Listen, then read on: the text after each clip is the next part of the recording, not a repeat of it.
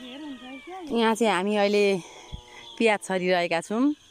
प्याजलाई चाहिँ मसिनो माटो बनाउनुपर्छ सुरुमा अनि प्याजको बिउ पनि भिजाउनुपर्छ गोबारहरू मलहरू पनि धुलो मजाले पार्नुपर्छ अनि ऊ त्यसरी झ्यासहरू पनि तान्नुपर्छ। त्यहाँ भाइले तानिराख्नु भएको झ्यासहरू पनि तानिराख्नु भएको छ। यी यसरी यहाँ बहिनीले चाहिँ छरिराख्नु भएको छ प्याज। अब यहाँ कस्तो हुन्छ हाम्रो प्याज? अब गर्न चाहिँ खोजेका छौँ। हामी जहिले पनि फलाउँछौँ दुई चार डोका बनाउँथ्यौँ बहिनीले पनि दुई चार डोका राख्नुहुन्थ्यो यही ठाउँमा फलाएर। अनि म आफू पनि फलाएर दुई चार डोका यहाँ फलाएर चाहिँ राख्थेँ।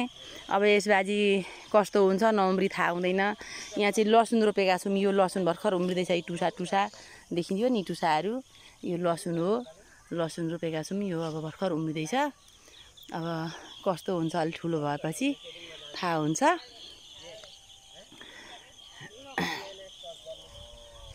प्याजको चाहिँ दल राखे राखेको हो यो। अब उम्रेपछि पातलो पातलो यहाँ छोडेर अर्को ठाउँ बिरुवाहरू सार्दाखेरि हुन्छ। यहाँ चाहिँ पानी लाउने कुलो बनाउँदै हुन्छ भाइले अहिले। खेती किसानमा त साह्रो छ हेर्दाखेरि चाहिँ गर्न पनि साह्रो छ तर खाना चाहिँ राम्रो कुराहरू पाइन्छ। यहाँ भाइले भन्दै हुन्छ ताजा ताजा मिठो मिठो पाइन्छ।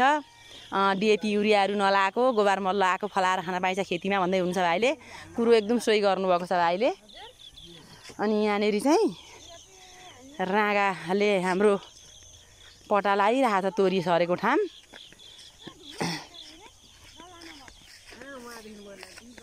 अस्ति धान काटेको ठाम हो यो। आज चाहिँ यहाँ ट्र्याक्टर लगाएको थियो। पटा लगाइराखेको छ पटा। राँगाले पटा लगाइरहेको छ। यो पटा लगाएन भने चाहिँ सम्म माटो हुँदैन। पटा लगाइसकेपछि कोरुवाले जोत्यो। रोडाले जोतेको थियो भने चाहिँ पटा नलाउँदा पनि हुन्थ्यो। कोरुवाले जोत्दा चाहिँ अलिक गहिरो हुन्छ भनेर कोरुवाले जोत्यो अनि अलिक डाँडा काँडा जस्तो हुन्छ। पटा लगाएपछि सम्म हुन्छ। यसरी पटा लगाउनुपर्छ यो तपाईँहरूलाई थाहा छैन होला तर एकदम राम्रो हुन्छ। चढेर पनि पटा लाउँदा हामीहरूले पनि लाउँदा हुन्छ। सबैजनाले लाउन गर्न सकिन्छ।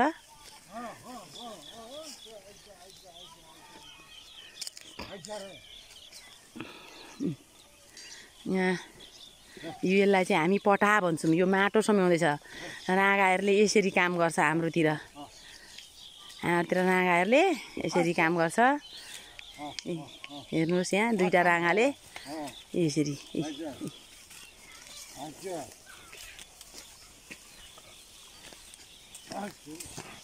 यसरी। हामीहरू राँगाहरूबाट पनि फाइदा लिन सकिन्छ। पोरेलले पैँतालिस हजारमा राँगा किनेको थियो। अहिले नब्बे हजार दिँदैछन् यी राँगालाई। यसरी पाँच छ महिना मात्रै भएछ यी राँगा किनेको। एक वर्ष भएको छैन। साना पाडा किनेको थियो। आफ्नै खेतको घाँसहरू खुवाउँछ अनि आफ्नै घरमा अब यसो उसो छेउछाउमा ठोकठाक गर्छ। त्यति गर्दैखेरि त्य- त्यति फाइदाहरू हुन्छ। अलिक नहुने मान्छे धेरै पुँजीहरू फसाउन नसक्ने मान्छेहरू यसरी पनि उँभो लाग्छन्। गाउँले जीवन आनन्द हुन्छ। तपाईँहरू आउनुहोस् है गाउँतिर आउनुहोस्। तपाईँहरूलाई लाग्छ होला गाउँमा चाहिँ दुःख तर गाउँको जीवन एकदम आनन्दको हुन्छ।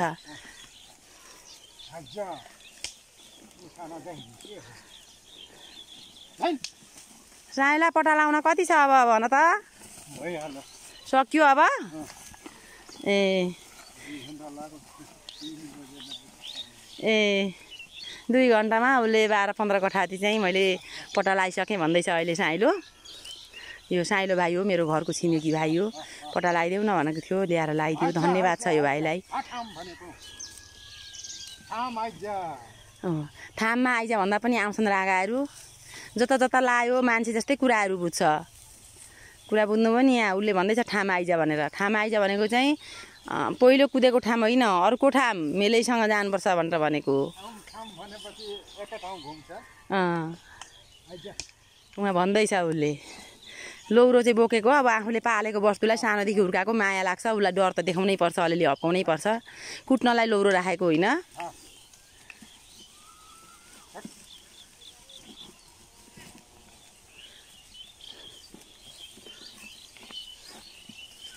है कता जान्छ? हाम्रो खेती किसान गाउँले जीवन यस्तै छ। यहाँहरूलाई मनपर्छ भने लाइक गरिदिनु होला सेयर गरिदिनु होला कमेन्ट गरिदिनु होला।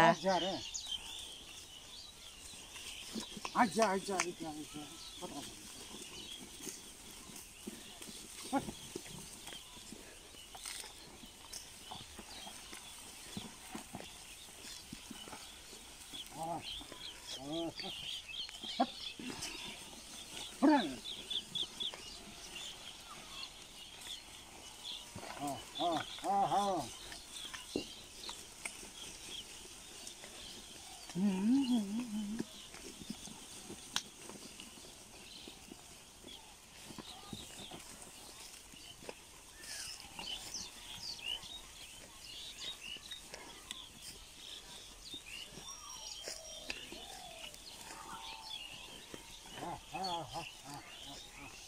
कता जान्छ ठाउँमा ठाउँमा आइज नकुट धेर कुट्नु हुँदैन है। दुःखले जोडेका छन्। त मलाई पनि थाहा छ। अलिअलि डर देखाउनु पर्छ। राम्रा रागाहरू छन्। पुछारमा कुट्नु हुँदैन पुछार कुहुन्छ पुछारमा लाग्यो भने लोब्राएर लाग्यो भने पुछार कुहुन्छ तपाईँहरूले पनि यो थाहा पाउनु होला। पुछार लिडो हुन्छ नि पुछार कुहेपछि डक्टरले काटिदिन्छ पुछार अनि त्यहाँबाट लिडो राँगाहरू पाल्नुपर्छ अनि यो पुछार भनेको चाहिँ राँगाहरूको वस्तुहरूको साथी हो। झिँगाहरू धपाउँछ उनीहरूले। पुछार भएन भने झिँगाहरू धपाउनु सक्दैन रोगिन्छ वस्तु।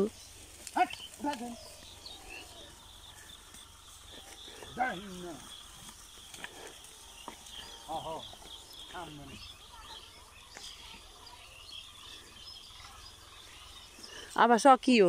गरो सकिसक्यो अब। अब साइलाले सक्यो अब।